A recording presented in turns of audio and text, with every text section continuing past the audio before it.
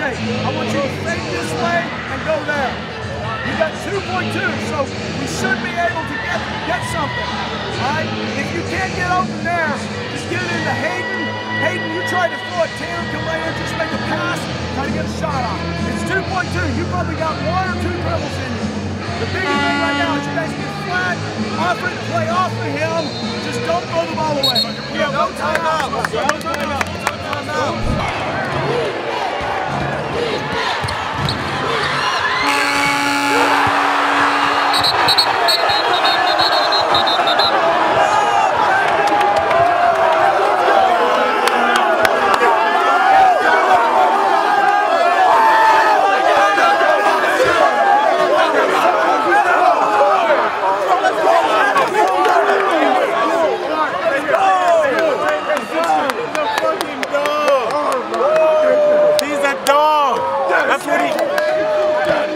Dog. He's a dog.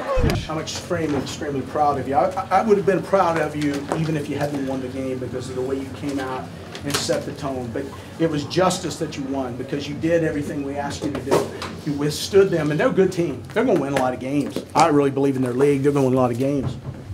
And so, and it's ice. Nice ice, baby. Hope it's not doing that outside.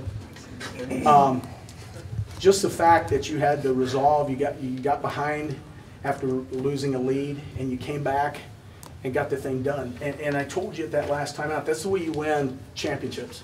Because that's gonna happen to everybody. And the good teams overcome those things, and that is an outstanding job, and I couldn't be prouder of you, okay?